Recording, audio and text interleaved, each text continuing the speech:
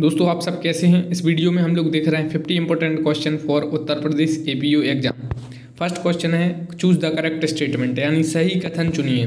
सो first है, Kerala high court देश की पहली पेपरलेस अदालत बना है। केरल जो हाई कोर्ट है, देश की पहली पेपरलेस अदालत बनी है।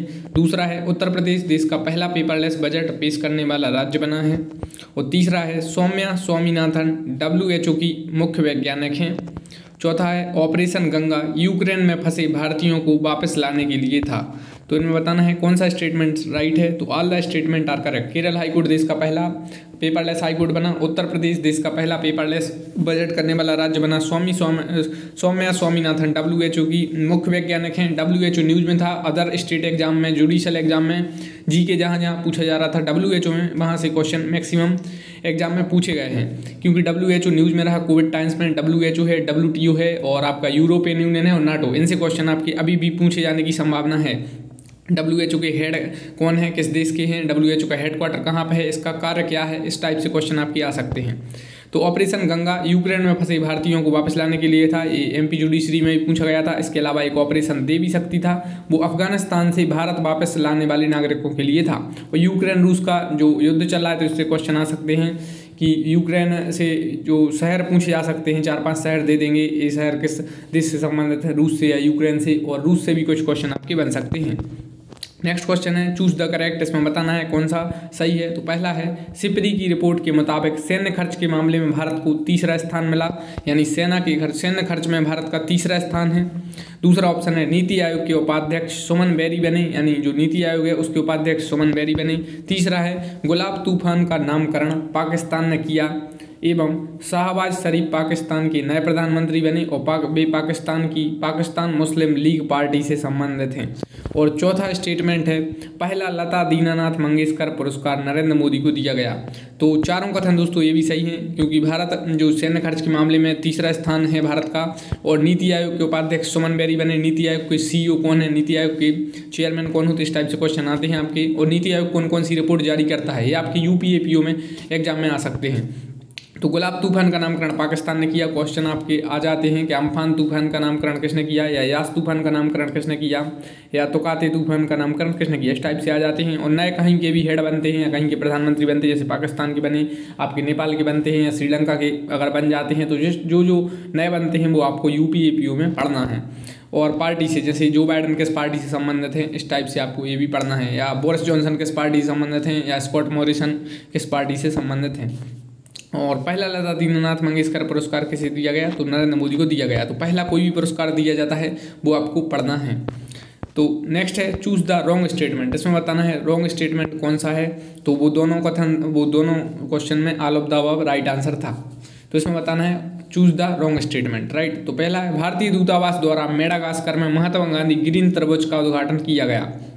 दोस्तों, महात्मा गांधी से एपीओ में क्वेश्चन पूछे जाने की संभावना है।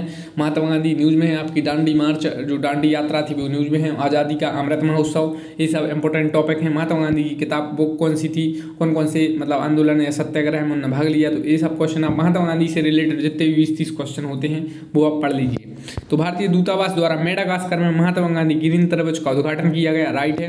दूसरा है, अमेरिका हथियारों का सबसे बड़ा निर्यातक देश है, बिल्कुल सही है, अमेरिका है जो हथियारों का सबसे बड़ा एक्सपोर्टिंग कंट्री है। तीसरा है, और इसमें क्या बताना, तीसरा है वियतनाम में दक्षिण पूर्व एशियाई खेल आयोजित होंगे 2022 में, यानी साउथ जो एशिया, साउथ ईस्ट जो गेम होंगे, वो आपके वियतनाम में आयोजित होंगे, ये बिल्कुल सही है। वियतनाम एक देश है, इसकी राजधानी हनोई है। चौथा है, यूक्रेन के राष्ट्रपति व्लादिमीर जेलेनेस्की को चेक रिपब्लिक ने अपने शीर्ष राजकीय सम्मान से सम्मानित करने की घोषणा की।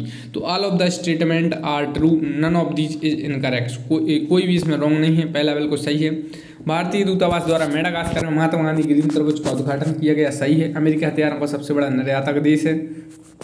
वियतनाम में दक्षिण पूर्व एशियाई खेल आयोजित होंगे। 2022 में नया जो जो खेल होंगे वो क्वेश्चन बनेंगे, चाहे आपके, जो आपका फीफा विश्व कप हो, आपका जो कॉमनवेल्थ गेम हो, जो नए 2022 में जो जो गेम होंगे, या नई जैसे आईपीएल में दो नई टीम जोड़ेंगी तो नया जो जो होता है खेल स्पोर्ट्स से रिलेटेड वो आपको पढ़ना है। या चाहे आपको शीतकालीन ओलंपिक हो दो के आपके ओलंपिक से भी और क्वेश्चन आ सकते हैं। और 2022 से रिलेटेड जितने भी जो टेनिस के ओपन होते हैं, आपके ऑस्ट्रेलियन ओपन है, आपका फ्रेंच ओपन है, आपके एक विमल्डन होता है और आपका एक यूएस ओपन होता है। तो ये चार इन चार से क्वेश्चन आपके आते हैं। तो इसमें कोई भी इनकरेक्ट नहीं है all of these is correct now next है, योगी आदित्यनाथ कहाँ से विधायक हैं? तो योगी आदित्यनाथ दूसरी बार उत्तर प्रदेश के मुख्यमंत्री बने तो क्वेश्चन आ सकता है कि योगी आदित्यनाथ कहाँ से विधायक हैं? तो योगी आदित्यनाथ गोरखपुर से विधायक हैं। नेक्स्ट है चूज़ द करेक्ट स्टेटमेंट इसमें करेक्ट स्टेटमेंट बताना है। तो फ़र्स्ट है, पंद्रहवें वित्त आयोग के अध्यक्ष एन के सिंह हैं, जो वित्त आयोग है। आप बताइए, संविधान के किस अनुच्छेद में वित्त आयोग है? आपसे क्वेश्चन ये आ सकता है। तो पंद्रहवें वित्त आयोग के अध्यक्ष एन के सिंह बिल्कुल सही है। भारतीय ओलंपिक संघ के अध्यक्ष नरेंद्र बत्रा हैं। ये क्वेश्चन आ सकता है। ओलंपिक से क्वेश्चन आ सकते हैं। जो इंटरनेशनल ओलंपिक कमेटी है, उसका हेडक्वार्टर कहाँ पर है, आप कमेंट बॉक्स में बताइए। इसके अलावा अंतर्राष्ट्रीय ओलंपिक समिति के अध्यक्ष थॉमस बाक हैं और ये जर्मनी देश के हैं। और नेक्स्ट है, विश्व बैंक के अध्यक्ष डेविड मलापास हैं। तो all of the statement is correct पंद्रह वित्त आयोग के अध्यक्ष एन के सिंह हैं। और भारतीय ओलंपिक संघ के अध्यक्ष नरेंद्र बत्रा हैं। अंतर्राष्ट्रीय ओलंपिक समिति के अध्यक्ष थॉमस बाक हैं और विश्व बैंक के अध्यक्ष डेविड मलापास हैं। जो न्यूज़ में हैं, जैसे जैसे विश्व बैंक है, आपका नाटो है, नाटो के सेक्रेटरी जनरल कौन है? इसके अलावा जो न्यूज़ में रहते हैं, उनकी आपकी हेड आपको ज़रूर अच्छी तरीके से पढ़ना है। नेक्स्ट है गेहूँ, चावल, आलू, कोयला, कपास और चाय के उत्पादन में कौन से देश का प्रथम स्थान है? काफ़ी इंपोर्टेंट क्वेश्चन है दोस्तों। गेहूँ, चावल, आलू, कोयला, कपास, चाय के उत्पादन में कौन से देश का प्रथम स्थान है? गेहूँ अभी न्यूज़ में है, यूक्रेन, रूस मैटर चल रहा है और इस कारण गेहूँ अभी काफ़ी विश्व लेवल पर न्यूज़ में बना है। तो क्वेश्चन आ सकता है कि भारत देश में कौन सा राज्य सबसे ज़्यादा गेहूँ का उत्पादन करता है? तो यूपी करता है और आपसे ये भी आ सकता है कि विश्व में कौन सा देश करता है। तो इसका राइट आंसर है आपका चीन। चीन है जो गेहूँ सॉरी चीन है जो आपका गेहूँ सबसे ज़्यादा उत्पादन करता है, चावल करता है आपका। और और आपका एक मिनट, जो चीन है, वो सबसे ज़्यादा आपका उत्पादन करता है। एक मिनट। जो चीन है, इसका फ़र्स्ट, चीन चीन का है, पहला स्थान है आपकी गेहूँ में, आपकी चावल में, आलू में, कोयला में, कपास में और चाय में। इन सब के उत्पादन में आपका चीन का प्रथम स्थान है। तो इसका राइट आंसर क्या रहेगा? चीन इसका राइट आंसर रहेगा। नेक्स्ट चूज़ द करेक्ट इसमें करेक्ट बताना है। झांसी रेलवे स्टेशन का नाम बीरंगना लक्ष्मीबाई रेलवे स्टेशन है। दूसरा है, मैनपुरी सैनिक स्कूल का नाम जनरल बिपिन रावत सैनिक स्कूल है, जो भारत के पहले चीफ ऑफ़ डिफेंस स्टाफ थे। तीसरा है मिड डे मील योजना मिड डे मील योजना का नाम पीएम पोषण स्कीम है। चौथा है, मातृभूमि योजना और एक जला एक उत्पाद योजना उत्तर प्रदेश सरकार ने शुरू की है। तो all of the statement are correct तो इसका राइट आंसर है all of the statement are correct आप देख लेते हैं। देखिए, नए जो जो नाम चेंज होते हैं, उनसे क्वेश्चन आ सकते हैं। मंडुवाड़ी रेलवे स्टेशन हबीबगंज आपका रेलवे स्टेशन और जो भी नए नाम चेंज होते हैं, उनसे आपके क्वेश्चन आ सकते हैं। वो आपको पढ़ना है। तो झांसी रेलवे स्टेशन का नाम बीरंगना, लक्ष्मीबाई रेलवे स्टेशन हुआ है। मैनपुरी सैनिक स्कूल का नाम जनरल विपिन रावत सैनिक स्कूल हुआ है। और मिड डे मील योजना काफ़ी जो न्यूज़ में थी, पीएम पोषण इसका नाम है। और आपका मातृभूमि योजना और एक जला, एक उत्पाद योजना उत्तर प्रदेश सरकार से संबंधित है। यूपी गवर्नमेंट से रिलेटेड जो स्कूम है, स्कीम है, वो आपको पढ़ना है। जैसे अभ्युदय योजना है तो वो किससे रिलेटेड है? आपसे क्वेश्चन ही आ सकता है एपीओ एग्ज़ाम में। तो all of the statement is correct next है चूज़ द करेक्ट इसमें भी करेक्ट बताना है। तो एक मिनट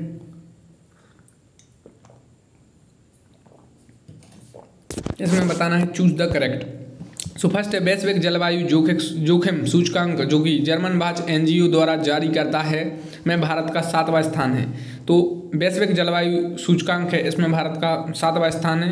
दूसरा है, विश्व प्रेस स्वतंत्रता सूचकांक 2021 में भारत का एक स्थान है। तीसरा है, वैश्विक साइबर सुरक्षा सूचकांक 2020 में भारत का दसवां स्थान है। चौथा है, मानव विकास सूचकांक जो कि यू जारी करता है, इसमें भारत की एक रैंक है। दोस्तों, ये चार और पाँचों इंपॉर्टेंट हैं, इनसे क्वेश्चन आते हैं। वैश्विक जलवायु जोखिम सूचकांक, इसमें भारत की सेवेंथ रैंक है। तो एक क्वेश्चन पूछा जाता है। देखिए, वो वो रिपोर्ट आपको पढ़ना है जिनमें भारत की रैंक एक से दस तक है और आपकी पीछे से सबसे ज़्यादा है। जैसे 120 से लेकर 150 तक जिन जिन मतलब सूचकांक या रैंकिंग में रैंक है, उनसे ज़्यादातर क्वेश्चन आने की संभावना रहती है। पढ़ना तो आपको पूरे है, लेकिन इनसे ज़्यादातर क्वेश्चन आते हैं। तो वैश्विक जलवायु जोखिम सूचकांक में भारत की सेवेंथ रैंक है क्वेश्चन आ सकता है। विश्व प्रेस स्वतंत्रता सूचकांक सूचकांक जो कि फ्रीडम प्रेस इंडेक्स से कहते हैं, एक भी रैंक है तो इससे क्वेश्चन आ सकता है। वैश्विक साइबर सुरक्षा सूचकांक में टेंथ रैंक है, इससे भी क्वेश्चन आ सकता है। और मानव विकास सूचकांक में एक भी रैंक है, इससे भी क्वेश्चन आ सकता है। कौन जारी करता है यूएनडीपी यानी यूनाइटेड नेशन डेवलपमेंट प्रोग्राम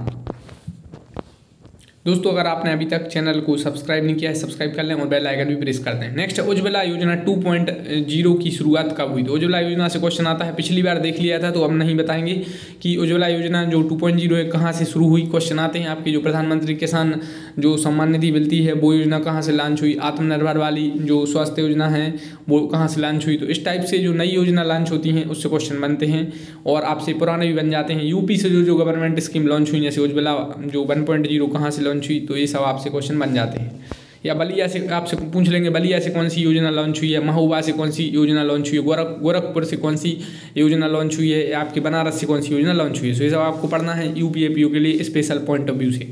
एक आध क्वेश्चन आपका योजना से आ, आ, आ सकता है। तो उज्ज्वला योजना टू पॉइंट ज़ीरो की शुरुआत कब से हुई? तो ये हुई आपकी दस अगस्त दो हज़ार इक्कीस से। तो दस अगस्त दो हज़ार इक्कीस से आपकी उज्ज्वला योजना टू पॉइंट की शुरुआत हुई। नेक्स्ट है। और आपसे इस टाइप से क्वेश्चन आ सकते हैं कि अमृत योजना टू पॉइंट की शुरुआत कहाँ से हुई? या प्रधानमंत्री गति शक्ति योजना कब लॉन्च हुई? या स्वच्छ भारत मिशन शहरी टू पॉइंट वो कहाँ से मतलब यानी कहाँ से लॉन्च हुआ और कब लॉन्च हुआ? और किस मंत्रालय से रिलेटेड है? इस टाइप से भी क्वेश्चन आ जाते हैं। निपुण भारत कार्यक्रम कब लॉन्च हुआ? तो जिस निपुण भारत कार्यक्रम तीन जुलाई दो हज़ार इक्कीस को यह स्कीम लॉन्च हुई। प्रधानमंत्री गति शक्ति योजना तेरह अक्टूबर को हुई। स्वच्छ भारत मिशन शहरी टू एक अक्टूबर दो हज़ार इक्कीस से यह योजना लॉन्च हुई।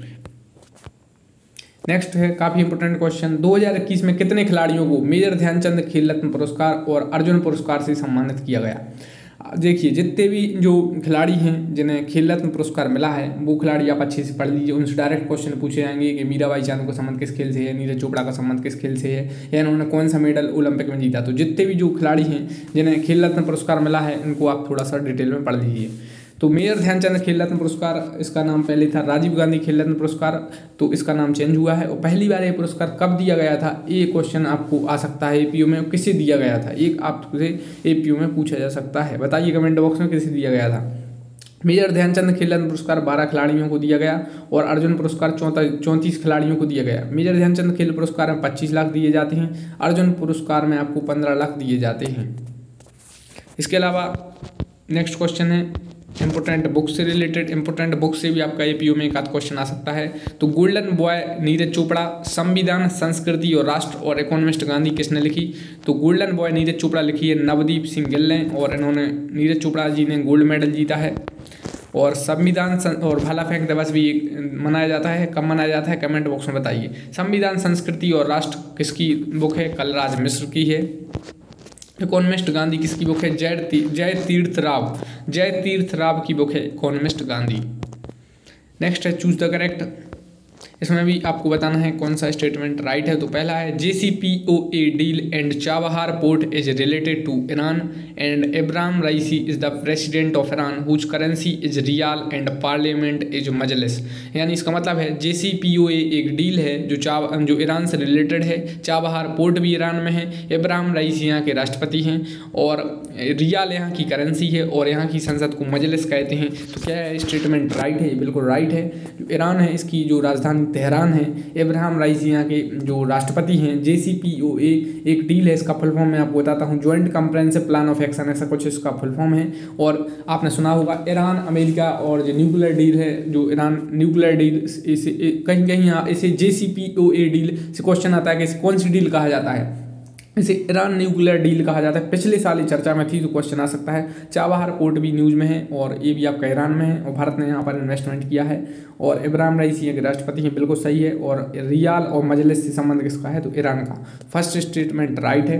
नेक्स्ट है, अफ़गानिस्तान और हेलमेंड रबर यानी अफ़गानिस्तान से इनमें से क्या क्या संबंधित है आपको बताना है। हेलमेंड रबर है जैसे, ये सबसे बड़ी नदी है। अफ़गानिस्तान से रिलेटेड हेरात प्रोविंस है और सलमा डैम है। और लैंड लॉक कंट्री यानी जो अफ़गानिस्तान है, ये भूगत राज्य यानी चारों ओर ही समुद्र से नहीं जुड़ा हुआ है। And not a member of BIMSTEC यानी बेमस्टेक का सदस्य नहीं, बिल्कुल सही है। जबकि जो आपका अफ़गानिस्तान है सार्क का सदस्य देश है, सार्क में आपका अफ़गानिस्तान है बेमस्टेक में नहीं है। इसके अलावा ऑपरेशन देवी शक्ति जो इंडिया का है, वो अफ़गानिस्तान से रिलेटेड है। तो ये सभी कथन बिल्कुल सही हैं। अफ़गानिस्तान में हेल, हेलमंड रिवर है। हेरात प्रोविंस एक प्रोविंस है अफ़गानिस्तान में है। और आपका सलमा डैम भी अफ़गानिस्तान में भारत ने इसमें काफ़ी इन्वेस्टमेंट किया है। अफ़गानिस्तान एक लैंड लॉक्ड कंट्री है। और यह बिम्स्टिक का सदस्य देश नहीं है। बिम्स्टिक में भारत भी है। और ऑपरेशन देवी शक्ति भारत का है जो, वो अफ़गानिस्तान से भारतीयों को वापस निकालने के लिए था। तो ये दूसरा स्टेटमेंट बिल्कुल सही था। तीसरा स्टेटमेंट है willy willy willy willy storm and downs willy willy storm यानी जो बिली बिली जिसे साइक्लोन कहते हैं जनरली बिली बिली साइक्लोन और Downs Graceland is related to Australia Billy Billy जो साइक्लोन है और आपका जो डाउंस के मैदान है, ये ऑस्ट्रेलिया से संबंधित हैं और ऑस्ट्रेलिया ने टी ट्वेंटी वर्ल्ड कप दो हज़ार इक्कीस जीता और स्कॉट मॉरिसन यहाँ से संबंधित हैं और क्वाड का भी यह सदस्य देश है। तो ये ऑस्ट्रेलिया है, बिल्कुल सही है। ऑस्ट्रेलिया से जो प्रधानमंत्री हैं ऑस्ट्रेलिया के स्कॉट मॉरिसन है, क्वाड यानी इसमें चार देश हैं, भारत, जापान, अमेरिका और ऑस्ट्रेलिया। तो क्वाड इसे कहा जाता है, इसमें ऑस्ट्रेलिया है। बिली बिली ऑस्ट्रेलिया से संबंधित है, यहाँ पर जो साइक्लोन आते हैं, उन्हें बिली बिलीज कहा जाता है। इसके अलावा डाउन्स के मैदान, आपसे क्वेश्चन आ जाएगा। चार पाँच चीज़ पूछे जाते हैं। एक स्टेपिस पूछे जाते हैं या पूछ लेंगे, प्रेरी के मैदान कहाँ पर पाए जाते हैं? चार ऑप्शन दे देंगे, ऑस्ट्रेलिया में, उत्तरी अमेरिका, दक्षिण अमेरिका या अफ्रीका में। या सवाना कहाँ पर पाए जाते हैं? ये ग्रासलैंड होते हैं जो घास भूमियाँ इनसे आपके ए में का क्वेश्चन आ सकता है। चाहे वो डाउन्स के मैदान पूछ लें प्रेरी के मैदान पूछ लें पंपास के मैदान पूछ लें, ये चार पाँच आपसे क्वेश्चन आ सकते हैं। तो ये सब आपके ऑस्ट्रेलिया से रिलेटेड हैं। नेक्स्ट है, Jawad cyclone named by Saudi Arabia and Gulab cyclone by Pakistan तो जवाद जो साइक्लोन आया था, इसका नामकरण किया सऊदी अरेबिया ने और गुलाब का किया पाकिस्तान ने। तो all of the statement are correct फिर से देख लेते हैं। पहला बिल्कुल सही है, ईरान से स्टेटमेंट है जो रिलेटेड ये बिल्कुल सही है, अफ़गानिस्तान वाला भी स्टेटमेंट बिल्कुल राइट है और आपका ये ऑस्ट्रेलिया वाला भी राइट है और सऊदी अरेबिया और पाकिस्तान वाला भी राइट है। So all of the statement are correct next है which event take place first history में आपसे इस टाइप के क्वेश्चन आएँगे कि पहले कौन सा इवेंट हुआ? काकोरी ट्रेन एक्शन हुआ, या चोरी चोरा कांड हुआ, या लखनऊ समझौता हुआ, या आपका क्रिप्स मिशन हुआ? तो लखनऊ समझौता इसका राइट आंसर है, उन्नीस सौ सोलह में हुआ था, बाकी सब बाद में हुए। काकोरी ट्रेन एक्शन इसका नाम चेंज हुआ है तो क्वेश्चन आ सकता है। चोरी चोरा कांड से भी आपके क्वेश्चन बन सकते हैं। सौ साल हो गए इसलिए इससे क्वेश्चन आपके आ सकते हैं। नेक्स्ट है what is the insurance sector FDI limit यानी इंश्योरेंस सेक्टर जिसे कहते हैं हिंदी में बीमा क्षेत्र। तो इसमें फॉरेन डायरेक्ट इन्वेस्टमेंट की लिमिट कितनी है? तो बढ़ा दी गई इसलिए क्वेश्चन आ सकता है। और इसमें लिमिट है जो वो है सेवेंटी फोर परसेंट और एडा, एक एडा के जो हेड कौन है? आईआरडीए इसके आपसे चेयरमैन पूछे जा सकते हैं तो वो हैं देवाशीष पंडा। देवाशीष पंडा हैं आईआरडीए के हेड हैं। ये क्वेश्चन आपसे आ सकता है। इंश्योरेंस रेगुलेट ऐसा कुछ इसका फुल फॉर्म है। Insurance regulator and development authority ऐसा कुछ फुल फॉर्म है। नेक्स्ट है Singapore is the largest F D I equity inflow in India काफ़ी इंपॉर्टेंट है, यानी सिंगापुर है। सिंगापुर से भारत में सबसे ज़्यादा एफ़ डी आई आती है। तो ये क्वेश्चन आ सकता है। चार ऑप्शन दे देंगे। चीन दे देंगे, रूस दे देंगे, अमेरिका दे देंगे और सिंगापुर दे देंगे। तो भारत में सबसे ज़्यादा एफ़ डी कहाँ से आती है? सिंगापुर से आती है। एक क्वेश्चन और आपका बनता है कि फॉरेक्स रिज़र्व के मामले में भारत का देश में कौन सा स्थान है विश्व में? नेक्स्ट है चूज़ द करेक्ट इसमें आपको करेक्ट बताना है। तो फ़र्स्ट है Kyiv, Kharkiv, Luhansk, Odisha Donbas Donetsk और Dnieper river and Ukrainian president Volodymyr Zelensky, Gates, John F Kennedy award. So इसमें करेक्ट बताना है राइट कौन से देश से क्या रिलेटेड है? ये सब आपके बता रहे हैं, यूक्रेन से रिलेटेड है। दूसरा है Volga river Lenin, Stalin, Russian revolution Sputnik. S four hundred A K two zero three rifle और इलेवन टाइम जोन ये किससे रिलेटेड हैं? तो ये आपकी, आप समझ गए होंगे बोल कर एवर कहाँ पर है? रूस में है। लेन स्टालिन ये सब रूस से रिलेटेड है। रशियन रेवोल्यूशन उन्नीस सौ सत्रह के आसपास Sputnik vaccine S four hundred Bharat ने खरीद लिए हैं। और ए के दो सौ तीन राइफल्स इलेवन टाइम जोन ये सब ये सब कहाँ पर है? रूस में है, रशिया में। और रूस और यूक्रेन आपको अच्छे से पढ़ना है। नेक्स्ट है अमेरिका से क्या क्या रिलेटेड है? क्वाड क्वाड का मेंबर अमेरिका है ऑस्ट्रेलिया है, भारत भी है, जापान भी है।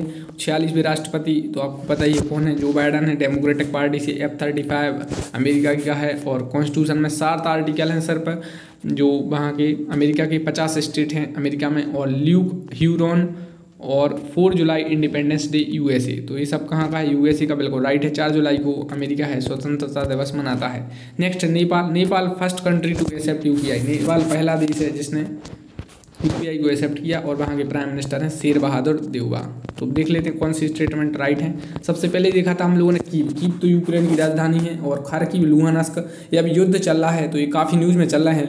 पूछ लेंगे आपसे कि डोनवास कहाँ पर है, या आपका डनाईपर रिवर कहाँ पर है। इसे नाईपर रिवर भी कहा जाता है। नाईपर रिवर इसे हिंदी में कहते जनरली तो नाईपर रिवर है, ये कहाँ पर है और जो नई परवर आपको पता है कि यूक्रेन में है और जॉन एफ़ कैनेडी अवार्ड मिला है यूक्रेन के राष्ट्रपति बोलोदोमर जेलेनेस्की को इन्हें। जॉन एफ़ कैनेडी अवार्ड मिला तो क्वेश्चन आ सकता है।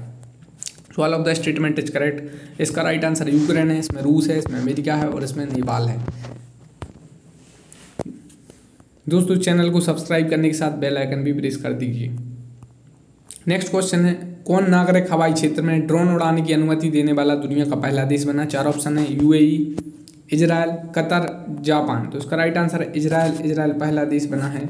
जिसने ड्रोन उड़ाने की अनुमति दी है नागरिक हवाई क्षेत्र में। नेक्स्ट है भारत किस देश में पहला आईआईटी की स्थापना करेगा? तो यूएई में भारत पहला आईआईटी की स्थापना करेगा। जो गोल्डन वीज़ा है, वो यूएई जारी करता है। नेक्स्ट है, और होप मिशन एक होप मिशन लॉन्च हुआ था, वो आपका यूएई से संबंधित है, Hope mission H O P Hope mission और ये मंगल मिशन से संबंधित है। नेक्स्ट है, चौबीस अप्रैल को कौन सा दिवस मनाया गया? काफ़ी इंपोर्टेंट क्वेश्चन है, चार ऑप्शन है, राष्ट्रीय पंचायती राज दिवस, सुशासन दिवस, पराक्रम दिवस या राष्ट्रीय मतदाता दिवस। तो चौबीस अप्रैल को मनाया जाता है राष्ट्रीय पंचायती राज दिवस और सुशासन दिवस मनाया जाता है आपका पच्चीस दिसंबर को। आपका पराक्रम दिवस तेईस जनवरी, आपका सुभाष चंद्र बोस के जन्म दिवस पर राष्ट्रीय मतदाता दिवस आपको पता ही है। और सुशासन दिवस जो आपको पता ही है, अटल बिहारी वाजपेयी के जन्म दिवस पर मनाया जाता है। नेक्स्ट है चूज़ द करेक्ट इसमें करेक्ट बताना है। तो काफ़ी इजी क्वेश्चन है। चंद्रयान वन कब कब लॉन्च हुआ तो आपको बताइए है 2008 में। मंगलयान 2013 में। चंद्रयान टू 2019 में, ये 22 जुलाई 2019 को लॉन्च हुआ। तो क्वेश्चन आ सकता है कि चंद्रयान वन कब लॉन्च हुआ, टू कब हुआ, मंगलयान कब हुआ, या गगनयान कब लॉन्च हुआ, इस टाइप से आपके एपीओ में क्वेश्चन आ सकते हैं। तो चंद्रयान वन बाईस अक्टूबर 2008 मंगलयान पाँच नवंबर 2013 चंद्रयान टू बाईस जुलाई 2019 और न्यूक्लियर टेस्ट डेट है भारत ने न्यूक्लियर टेस्ट उन्नीस सौ चौहत्तर में किए थे और उन्नीस सौ अठानवे में अठारह मई को किया था उन्नीस सौ चौहत्तर में ग्यारह से तेरह मई में किया थी जो न्यूक्लियर टेस्ट किए थे उन्नीस में। और पह, जो उन्नीस सौ चौहत्तर में इंदिरा गांधी जो प्राइम मिनिस्टर थी और उन्नीस में अटल बिहारी वाजपेयी। तो क्वेश्चन आपका आ सकता है। नेक्स्ट है चूज़ द इनकरेक्ट इसमें इनकरेक्ट बताना है। तो फ़र्स्ट है Kedarnath Singh versus state of Bihar leading case है, धारा 124 ए आईपीसी जो राजद्रोह से संबंधित है, ये काफ़ी न्यूज़ में क्वेश्चन आ सकता है। राजद्रोह में मिनिमम पनिशमेंट कितनी है और मैक्सिमम पनिशमेंट कितनी है, जो कि आपकी यहाँ पर पूछ लिया था एम पी जुडिशरी एग्ज़ाम में। न्यूज़ में था, बत पहले ही बता दिया था कि जो न्यूज़ में रहते हैं, वही क्वेश्चन आपके जनरली पूछे जाते हैं। नेक्स्ट है section 125 CrPC Mohammad Ahmed Khan versus Shahbano, ये भी आपका एम पी जुडिशरी में पूछा था। तो 125 सीआरपीसी रिलेटेड है, दोनों ये सही हैं। तीसरा है, चार सौ चौरानवे आई पी बिल्कुल सही है। और चार सौ पच्चीस आई पी मिसचिप मिसचिप का मतलब होता है, रिश्ती। तो नन ऑफ़ दी इनकरेक्ट इसका राइट आंसर हुआ क्योंकि ये ऑल स्टेटमेंट सही है। देखिए, एक सौ चौबीस धारा राजद्रोह अभी चर्चा में है तो क्वेश्चन आ सकता है केस वेस पढ़ लीजिए। एक सौ पच्चीस C R P C Mohammad Ahmed Khan versus Shah Bano से रिलेटेड है। एक और केस आता है, Saira Bano versus union of India और बायोगेमी से रिलेटेड है, चार सौ चौरानवे आई पी सी और रिश्ती से संबंधित है, चार सौ पच्चीस I P C next question है, हाल ही में भारत सरकार ने मुख्य आर्थिक सलाहकार के रूप में किसे नियुक्त किया है? काफ़ी इंपोर्टेंट क्वेश्चन है। तो इसका राइट आंसर है, अनंत नागेश्वरम अनंत नागेश्वरम को भारत ने जो सलाहकार, आर्थिक, मुख्य आर्थिक सलाहकार के रूप में नियुक्त किया है। नेक्स्ट इनकरेक्ट बताना है तो 16 दिसंबर विजय दिवस सही है। आईएनएस खुकरी को नौसेना से बत्तीस साल बाद सेवा मुक्त किया गया, बिल्कुल सही है। तीसरा है नासा ने जेम्स वेब टेलीस्कोप नाम से दुनिया का सबसे बड़ा टेलीस्कोप लॉन्च किया, ये भी बिल्कुल सही है। और चौथा है, पच्चीस दिसंबर को अटल बिहारी वाजपेयी की जन्म दिवस पर राष्ट्रीय किसान दिवस मनाया जाता है गलत है। पच्चीस जनवरी को मनाया जाता है सुशासन दिवस, राष्ट्रीय किसान दिवस मनाया जाता है। तेईस दिसंबर को आपका ये मनाया जाता है चौधरी चरण सिंह के जन्म दिवस पर। नेक्स्ट कौन ऑस्ट्रेलियाई बैश लीग में खेलने वाले पहले पुरुष भारतीय क्रिकेटर बने हैं? तो चार ऑप्शन है, नीरज चोपड़ा, उन्मुख चंद, सुरेश रैना। तो नीरज, उन्मुख चंद इसका राइट आंसर है। उन्मुख चंद जो ऑस्ट्रेलियाई बिग बैश लीग में खेलने वाले भारत के पहले पुरुष क्रिकेटर बने हैं, जो आपके नीरज चोपड़ा है इन्होंने गोल्ड मेडल जीता ओलंपिक में। कितने मीटर भाला फेंका कमेंट बॉक्स में बताइए। नेक्स्ट इबादत खाने का निर्माण किसने करवाया? तो इबादत खाने का निर्माण किया है अकबर ने, और अकबर से एक आध क्वेश्चन ए में आने की संभावना ज़्यादा है। जैसे पूछ लेंगे हल्दी घाटी जैसे महाराणा प्रताप से रिलेटेड है हल्दी घाटी के युद्ध कब हुआ? या दीन अल्लाही धर्म की स्थापना, किस, कब की गई? या आपसे पूछ लेंगे, दास प्रथा की समाप्ति कब हुई? तो नेक्स्ट क्वेश्चन है, इसमें करेक्ट बताना है। दास प्रथा की समाप्ति कब हुई? तीर्थ यात्रा की समाप्ति तीर्थ यात्रा कर की समाप्ति कब हुई? जजिया कर की समाप्ति कब हुई? और सूबों का पुनर्गठन कब हुआ? यहाँ पर सुबह लिखा है सूबों है तो दास प्रथा की समाप्ति पंद्रह सौ बासठ में हुई बिल्कुल सही है। तीर्थ यात्रा यात्रा कर की जो समाप्ति हुई पंद्रह सौ तिरसठ भी राइट है। जजिए कर की समाप्ति पंद्रह सौ चौंसठ और सूबों का पुनर्गठन पंद्रह सौ अस्सी। तो आल आर करेक्ट इसका राइट आंसर है। नेक्स्ट है, काकोरी कांड मुकदमे में सरकारी वकील कौन था? तो काफ़ी अच्छा क्वेश्चन है, काकोरी कांड मुकदमे में सरकारी वकील कौन था? तो इसका राइट आंसर है जगत नारायण मुल्ला हैं, जो काकोरी कांड में सरकारी वकील थे। काकोरी कांड से क्वेश्चन आ सकते हैं। काकोरी कांड में कौन कौन सम्मिलित था? या कब हुआ काकोरी कांड की घटना? नेक्स्ट है भारतीय नौसेना को प्रोजेक्ट पचहत्तर के तहत चौथी स्कॉर्पियन पनडुब्बी सौंपी गई है। उसका नाम क्या है? काफ़ी इंपोर्टेंट क्वेश्चन है। इसमें चार ऑप्शन है। बेला, सिंधुवीर, राफेल या एस फोर हंड्रेड इसका राइट आंसर है बेला। बेला इसका राइट आंसर है। नेक्स्ट है रिलेटेड बताना है कौन सी क्या रिलेटेड है? तो फ़र्स्ट है स्टैचू ऑफ़ इक्वालिटी संत रामानुजाचार्य से संबंधित है, बिल्कुल सही है, और प्रधानमंत्री जी ने इसका उद्घाटन किया। दूसरा है पुष्पा राज दादा साहब फाल्के फ़िल्म पुरस्कार 2022 से भी सही है। बेस्ट एक्टर का अवार्ड ऑस्कर जो मिला है बिल स्मिथ को मिला है, और न्यूज़ में थे अभी। और सेंट्रल विजिटर प्रोजेक्ट है न्यू पार्लियामेंट बिल्डिंग नए संसद भवन निर्माण से संबंधित है। So all of the statement is correct next है फ्रांस ने नौ साल बाद किस देश की सैन्य वापसी, किस देश से है यहाँ पर? की नहीं है। फ्रांस ने नौ साल बाद किस देश से सैन्य वापसी की घोषणा की? तो माली देश से की है। बिल्कुल सही है। फ्रांस न्यूज़ में है तो क्वेश्चन आ सकते हैं। राष्ट्रपति कौन है वहाँ के? और राफेल भारत ने फ्रांस ही खरीदे। यूएस और कौन सा देश संयुक्त हवाई अभ्यास कॉप साउथ बाईस आयोजित करेंगे? तो यूएस यानी अमेरिका और आपका बांग्लादेश करेंगे आयोजित। बांग्लादेश से भारत सबसे लंबी सीमा रेखा साझा करता है। शेख हसीना बांग्लादेश की प्रधानमंत्री हैं। भारत में कितने विश्व विरासत स्थल हैं? यानी भारत में कितने यूनेस्को वर्ल्ड हेरिटेज साइट हैं? तो भारत में चालीस हैं, ये चेंज कर, चेंज होती रहती हैं। आप ए एग्ज़ाम देने जाएँ तो आप इनको पढ़कर जाएँ। नई जो साइट हैं, जो लास्ट में जो थर्टी नाइन नंबर की साइट है फोर्टी नंबर की साइट उनसे क्वेश्चन बनेंगे कि ये साइट कहाँ पर है। तो आपसे इस टाइप से देखिए विश्व विरासत स्थल हैं रामसार स्थल हैं और और जो टाइगर रिज़र्व है, नए जो जो बनते हैं, इनसे आपके क्वेश्चन आते ही आते हैं एग्ज़ाम में। धोलावीरा जैसे क्वेश्चन आ सकता है, धोलावीरा कहाँ पर है रामापा टेंपल कहाँ पर है, क्योंकि ये यूनेस्को वर्ल्ड हेरिटेज साइट में है तो इनसे क्वेश्चन आपके आ सकते हैं। नेक्स्ट नाटो के सेक्रेटरी जनरल कौन है? नाटो न्यूज़ में है। यूक्रेन रूस मैटर में नाटो और आपका यूरोपियन यूनियन ये सब न्यूज़ में है तो इनसे क्वेश्चन आ सकते हैं। नाटो के सेक्रेटरी जनरल है Mister Jens Stoltenberg Mister Jens Stoltenberg is the secretary general of NATO North Atlantic treaty organization whose headquarter situated in Brussels Belgium headquarter कहाँ पर है? बेल्जियम में है ब्रूसल्स में।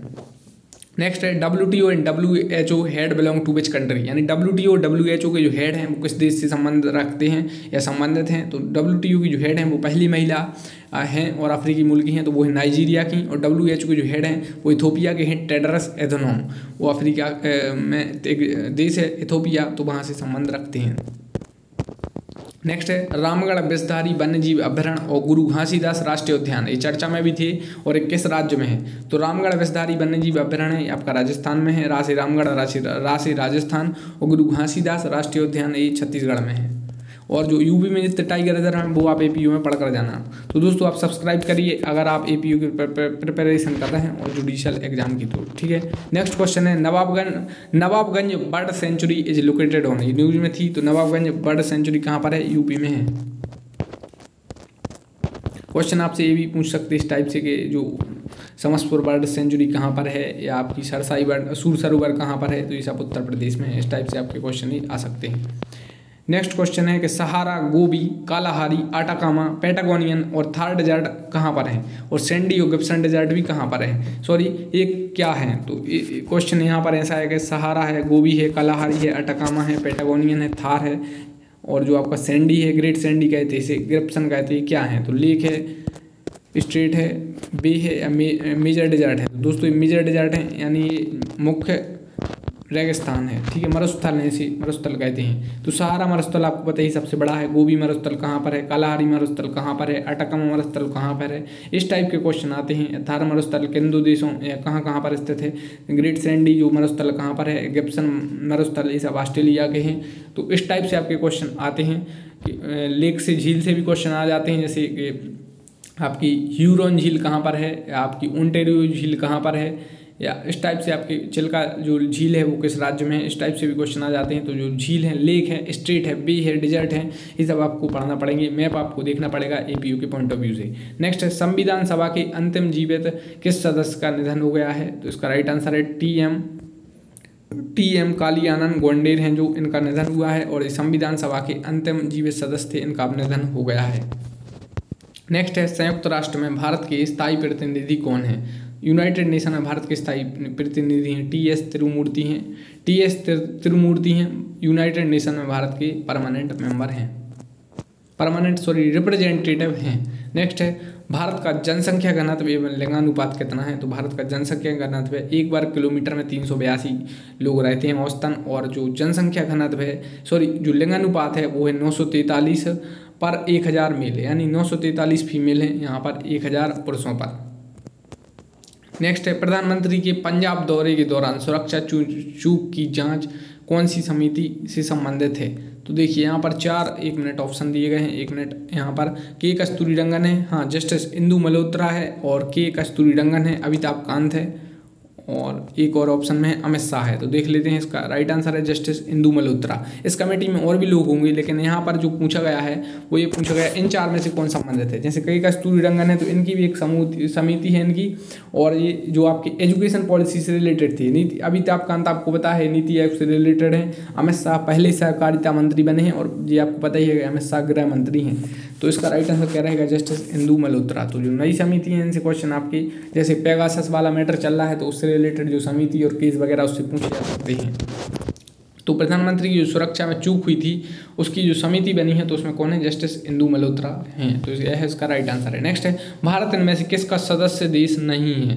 भारत इनमें से किसका सदस्य देश नहीं है? तो Quad BRICS S U G twenty SAARC BIMSTEC Commonwealth और जी सेवन तो क्वाड में भारत है, चार देश हैं, अभी बताया था। और ब्रिक्स में Brazil Russia India China South Africa BRICS में भी भारत है। S C Shanghai cooperation organization headquarter Beijing में भारत है। जी ट्वेंटी में भी भारत है, उन्नीस देश और एक इसमें यूरोपियन यूनियन है। सार्क जी ट्वेंटी की तो भारत मेजबानी करेगा, अभी अगले अगले वर्ष।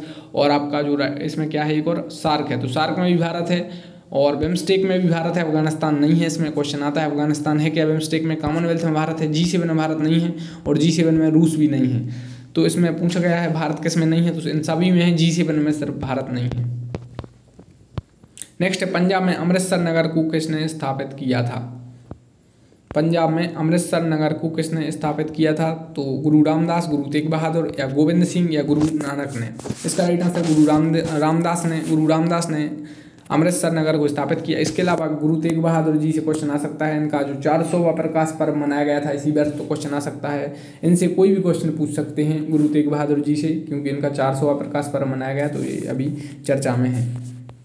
नेक्स्ट है, रैयतवाड़ी प्रथा किसने प्रारंभ की? तो ये की थी थॉमस मुंडू ने, और इन्होंने रैयतवाड़ी प्रथा प्रारंभ की थी। नेक्स्ट है भारत का मार्टिन लूथर किंग किसे कहा जाता है भारत का मार्टिन लूथर किसे कहा जाता है? चार ऑप्शन है, दयानंद सरस्वती राजा राम मोहन रॉय दादा भाई नेहरू जी या दास तो इसका राइट आंसर है स्वामी दयानंद सरस्वती। और इन चारों से आपके क्वेश्चन आ सकते हैं। दयानंद सरस्वती को अच्छे से पढ़ लीजिए। इनकी कौन सी पुस्तक है? कौन कौन सी जो कौन कौन से उससे रिलेटेड थे, राजा राम मोहन रॉय हैं, जैसे सती प्रथा, से मतलब जो जो से भी ये रिलेटेड थे, वो वो आप पढ़ लीजिए। दादा भाई नेहरू जी हैं, इनने कौन सी पुस्तक लिखी? और भारतीय राष्ट्रीय कांग्रेस के कब अध्यक्ष वगैरह बने, ये सब आप पढ़ लीजिए। और चितरंजन दास तो इनसे रिलेटेड आप सब पढ़ लीजिए।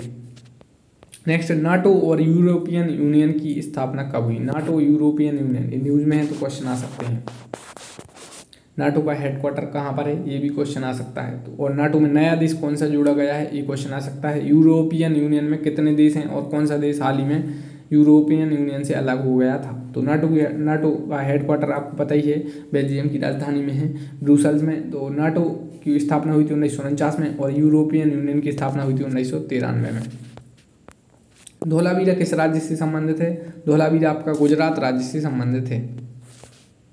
निम्न राजवंशों में सबसे पुराना राजवंश कौन सा था? चालुक राष्ट्रकूट, पल्लव या सातवाहन क्वेश्चन आते हैं कि चालुक वंश की स्थापना किसने की? राष्ट्रकूट की स्थापना किसने की? पल्लव की स्थापना किसने की? या सातवाहन वंश की स्थापना किसने की?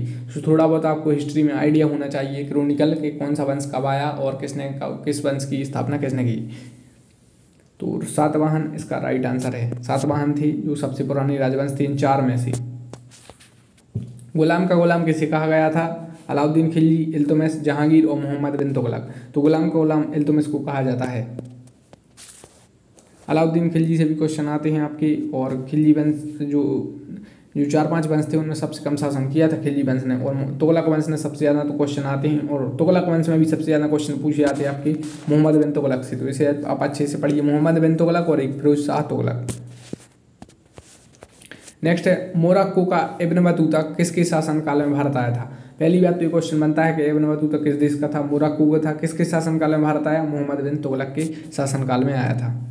और मोहम्मद बिन तुगलक ने जो राजधानी है, वो कहाँ पर बनाई थी? ये क्वेश्चन आता है। तो देखिए क्वेश्चन ऐसे आ जाते हैं कि फायान किसके शासनकाल में आया? इत सिंह किसके शासनकाल में आया? बास्को बास्कोटिगमा है, टॉमस रू है, कब आया? कैप्टन हॉकिंग कब आए? ये सब जो कब आए, इनसे क्वेश्चन आते हैं। नेक्स्ट शिवाजी का राज्याभिषेक कब हुआ? और मराठों के अंतर्गत चौथ क्या था? शिवाजी का राज्याभिषेक हुआ था दोस्तों सोलह सौ चौहत्तर में और मराठों मराठों के अंतर्गत जो चौथ था वो एक प्रकार का कर था। तो एक टैक्स था टैक्स था यह ये क्वेश्चन आपका पता है। सो जीएसटी क्या है? कौन सा टैक्स है? जीएसटी डायरेक्ट टैक्स है इनडायरेक्ट टैक्स है टैक्स है या क्या है? ये कमेंट बॉक्स में बताइए और कौन से संविधान संशोधन से रिलेटेड है? कौन सी समिति ने इसकी जो रिकमेंडेशन की थी कितने प्रकार का टैक्स स्लैब जीएसटी में लगता है? और वीडियो को लाइक कर लीजिए और चैनल को सब्सक्राइब कर लीजिए। धन्यवाद।